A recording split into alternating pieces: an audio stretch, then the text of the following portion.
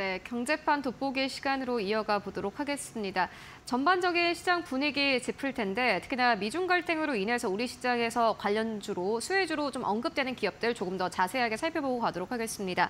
오늘은 프레스티지 전략연구소의 반종민 소장 모셨습니다. 안녕하십니까? 네, 반갑습니다. 네. 네, 오늘 일단 FMC 이야기부터 먼저 하고 가도록 하겠습니다. FMC 어떻게 보셨어요? 예측했던 그대로 나온 오, 것 같습니다. 어, 맞아요. 네.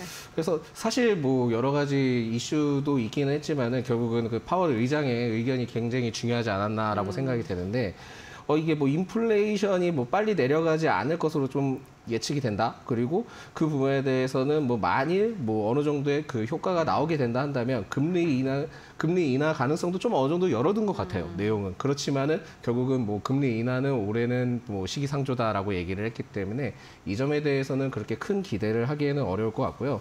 결국은 때때로 그 반영해서 가격 채점 후에 이제 앞으로 고려를 하겠다라는 시점을 봤을 때는 일단 뭐 안 좋은 상황들이 있다 한다면 한 번 정도는 상승 그 금리 인상 한 번 더 할 것 같기는 한데 그렇다 한다 하더라도 어 큰 리스크였던 뭐 앞으로 계속 금리 인상을 하겠다라는 이슈는 그래도 좀 어느 정도 줄어든 것 같습니다. 그러다 보니까 이 시점을 봤을 때는 뭐 지금 금리 인상에 대해서도 이제 어느 정도는 좀 동결 시점이 오지 않았겠나 좀 생각이 들고 있고요. 사실 지금 현재 중요한 부분들은 그 한미 기준 금리 격차가 1.75% 그러니까 이런 이 정도면은 좀 갭 차이가 많이 가- 나게 되는데 이럴 경우에는 이제 원 달러 환율 상승에 대해서 좀 나올 가능성이 매우 높습니다. 그러다 보니까 어, 밤 사이에 미국 시장도 4시 5분 정도 때 그때부터 이제 좀 내려가기 시작을 맞아요. 했고 네. 그러면서 환율이 또 올라가기 시작을 했거든요. año 그런 시점을 봤을 때는 지금 가능성을 좀 열어둬야 될 게 그 원달러 환율이 아마 1,400원대까지도 좀 가능성을 열어봐야 되지 않을까라는 말씀 드리겠고요. 그리고 또 추가적으로 이슈가 지금 나오고 있는 것이 지금 그 앨런 그 재무장관이 국가 부채 한도에 대해서 상향하지 않을 경우에는 6월 1일부터 미국 정부 재정이 좀 소진돼서 채무 불이행에 대한 가능성을 좀 어느 정도 언급을 했기 때문에 이 시점을 봤을 때는 미국도 그렇게 뭐 계속 그 금리 인상이든 이런 부분들 을 하지는 못할 것 같다라는 말씀 드리겠습니다. 결국에는 원달러 환율이 문제가 될 것 같습니다. 뭐 최근에 통화 스와프도 있었고 약간 당국에서 살짝 신경을 쓰는 듯한 모습을 보였는데 아무래도 뭐 앞으로 이런 원달러 환율 흐름에 따른 외국인 수급까지 잘 체크해 보시는 게 중요할 것 같고요. 어, 그리고 이어서 시장 분위기 짚겠습니다. 어제 상한가 간 종목이 있었습니다. 유니온 머트리얼이 보니까 어, 상한가에 진입을 했던데 저희 굿모닝 세븐에서도 한번 소개를 해드렸던 기업이기도 하거든요. 네. 일단 뭐 미국과 중국 간의 갈등 이슈 때문에 최근에 관련주가 급등과 급락 흐름이 나오고 있고 소장님께서는 어제 어떻게 보셨어요? 어, 저는 그 사실상 뭐 기술적 분석으로 종목을 좀 많이 보는 것도 경향이 있는데 네. 비슷한 흐름들이 계속 이어지는 종목들이 많았습니다. 네. 그래서 이게 무슨 일인가 해서 확인을 해봤더니 네. 희토류 관련된 부분들 종목들도 있었고 그 다음에 또 페라이트 관련된 종목들이 다 비슷하게 흘러가더라고요.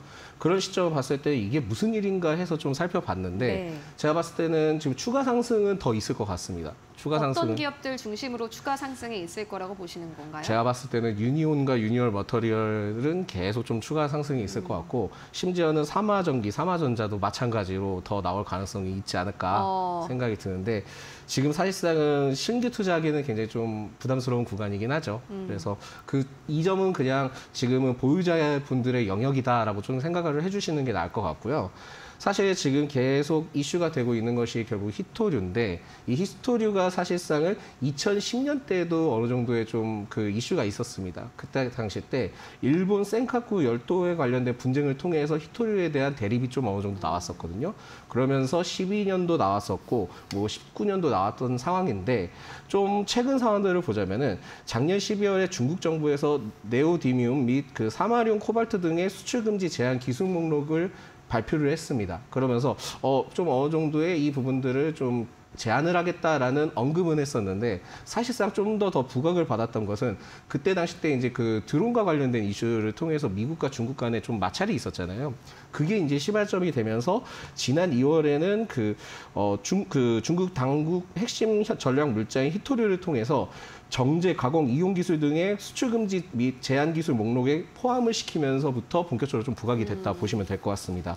근데 이게 전부 내용이 너무 많습니다. 내용이 엄청 많고 수종 목록에서 기술 수출 금지는 한 24개 그리고 기술 수출 제한에 대해서는 115개 등의 139개 정도 이제 되거든요. 특히 이제 수출 금지 항목에서 11호가 있는데 그 11호는 히토류 기술 분야에 대한 규제 대상이 추가되면서 그 이슈가 좀 나왔던 상황입니다. 그렇다 보니까 이게 뭐 실제적으로 발표가 확실하게 나지는 않은 상황이지만은 그 올해 1월 28일까지 명령 수정안에 대한 의견 수렴을 했기 때문에 지금 현재는 발표만 남은 상황이다라고 어. 보시면 될 것 같습니다.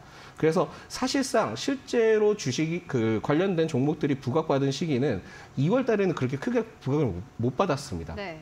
그래서 뭐 일시적으로 상승을 했고 과거에 어느 정도의 이력이 있었기 때문에 에, 그냥 어느 정도의 그냥 이슈로만 넘어갔다라고 좀 체크를 하시면 됐겠는데 이게 국내 언론에서는 이 부분에 대해서 부각을 계속 보여줬지만은 효과를 못 얻었는데 오히려 지난 그 5일 그러니까 4월 5일 때 미국 요미우리 신문에서 중국 정부가 히토류 자석에 대한 공급망을 통제하기 위해서 시- 수출 금지를 추진한다라는 보도를 하면서 그때부터 좀 부각을 받은 거거든요.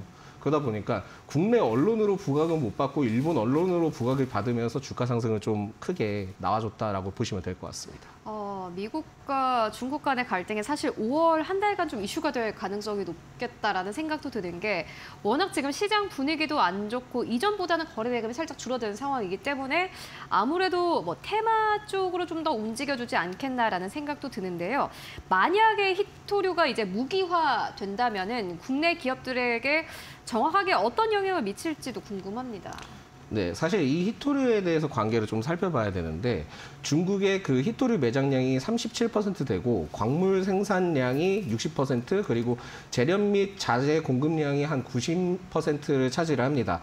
특히 이제 이뭐 히토류에 대해서 좀 특성을 말씀드리자면은 정제 과정에서 많은 환경 오염 물질이 발생이 되기 때문에 이 때문에 미국을 비롯한 전 세계 각국 기업 어, 각국 이 결국은 중국으로부터 히토류를 좀 공급받았던 거였거든요. 그러다 보니까 환경 오염 문제 때문에 결국은 이제 중국에 손을 벌려서 진행을 했던 건데 이게 지금 막히게 된다 한다면 굉장히 좀 이슈가 클 가능성이 있고요.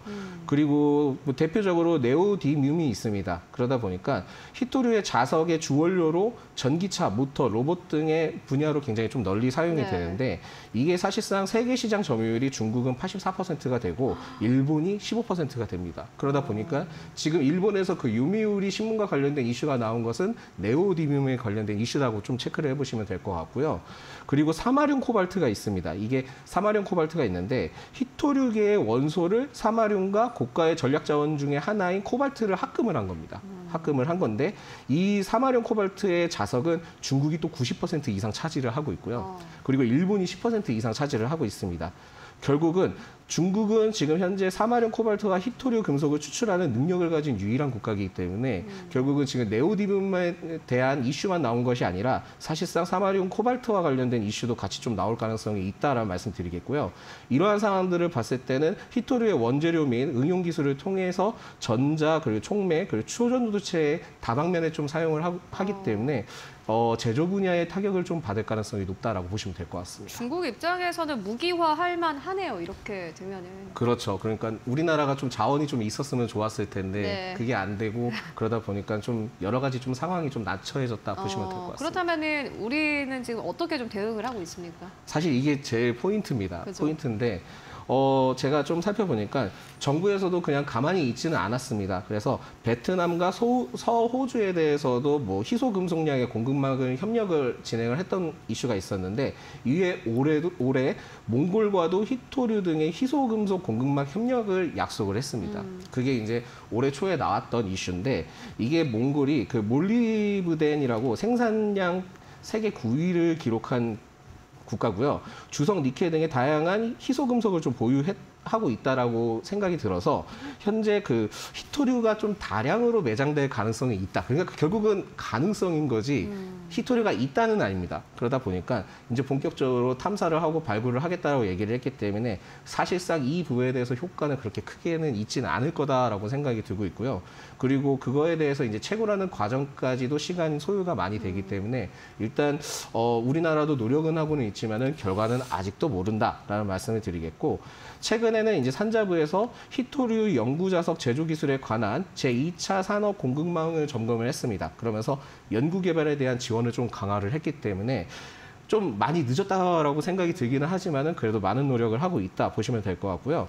최근에 좀 이슈가 되고 있었던 게 페라이트 아닙니까? 그래서 그 일론 머스크 그 CEO가 결국은 그 어, 희토류가 아닌 페라이트를 통해서 이제 앞으로 전기차를 좀 공급을 해보겠다라고 하는데 사실상 이 부분에 대해서는 정확하게 어떻게 될지 모릅니다. 그죠. 아직까지는 뭐 정확하게 검증이 된 게 아니기 때문에. 그죠? 그, 그렇죠. 그래서 좀 페라이트를 잠깐 간단하게 좀 설명을 드리자면은 음. 산화철의 그 바륨, 망간 등의 소량의 금속 원소를 섞습니다. 음. 섞음, 섞으면서 소결 과정을 통해서 이제 만들어진 세람, 세라믹 물질이 있는데 이것이 그 페라이트라고 좀 보시면 될 것 같고요. 네오디뮴 자석보다는 자력에 비해서는 좀 비교적 약하다고 나왔습니다. 그리고 좀 가격이 저렴하긴 한데 고온에서 사용할 수 있는 부분들도 있고 페라이트 모터는 반값 전기차를 고민하는 테슬라, 테슬라를 통해서는 원가 절감이 충분히 될 가능성이 있기 때문에 만약에 이게 본격적으로 좀 실행이 된다 한다면 가능성이 있고 뭐 실행이 된다 한다면은 전기차에 또 새로운 좀 패러다임이 생기지 어. 않을까라고 생각이 듭니다. 다만 이 부분들은 아직까지는 정확하게 나온 부분들이 아니기 때문에 좀 체크를 해볼 필요는 있지 않을까라고 생각이 들고 있고 그러면 뭐 지금 국내 관련된 페라이트 관련된 종목들이 상승을 하고 있지만 경쟁 업체가 좀 많습니다. 어. 그래서 일본의 그 일본의 그 TDK가 있고 JFE가 있고 히타치 메탈이 있는데 이, 지금 일본만의 일본만 있는 것뿐만이 아니라 대만 기업도 있기 때문에 결국 경쟁사가 굉장히 많다는 점을 참고를 했을 때는 일시적인 테마로서 지금 페라이트는 상승 가능성이 충분하지만 그렇다 한다 하더라도 단기적인 이슈로 어, 주가 조정을 좀 크게 받을 수 있는 상황은 있다라는 말씀 드릴 수 있을 것 같습니다. 뭐 기술력이 크게 필요로 하지 않는 분야인가 봐요. 제가 봤을 때는 기술력은 충분히 필요하다라고 생각이 들긴 하지만 어. 워낙 지금 그 일본이든 대만이든 경쟁자가 워낙 많기 때문에 이 점을 좀 체크를 하셔야 될 것 같습니다. 어, 그렇다면은 이제 어떤 종목을 매수할지 매도할지가 가장 중요할 것 같은데 반정미 소장님의 매매 스타일로 봤을 때는 네. 제가 봤을 때는 이런 좀 테마 쪽이 강하지 않습니까? 네, 뭐, 네, 그럴 수 있, 을것 같은데. 네. 그렇다면은 어떤 기업들 보고 계신지 좀 들어볼 수 있을까요? 어, 먼저 제가 좀 설명을 드리자면은 지금 중국과 정치 리, 정치적 리스크가 이달 말까지 지속될 가능성이 매우 높은데 지금 노동절 그러니까 노동절 기간이다 보니까 아직 뭐 입장을 발표를 하지는 않고 그죠, 있습니다. 네. 그래서 제가 봤을 때는 이제 만약에 발표한다면 시점이 제일 중요할 것 같은데 일단 제가 봤을 때는 빠르면 5월 말 가능성이 좀 있을 것 같고요. 그게 왜 그러냐면 인도 태평양 경제 프레임워크가 있고 아 프레임워크 제3차 협상이 8일부터 5일, 15일까지 진행이 되고 그리고 G7 정상회의가 19일부터 21일까지 진행이 됩니다. 그리고 아시아 태평양 경제 협력체에 대한 통상 장관 회의가 25일부터 26일 개최가 되기 때문에 이 부분들을 통해서 지켜보고 결정을 할 가능성이 있거든요. 그러다 보니까 5월은 계속 이러한 희토류나 그 페라이트와 관련된 이슈가 계속 나오지 않을까라고 생각을 하고 있고요.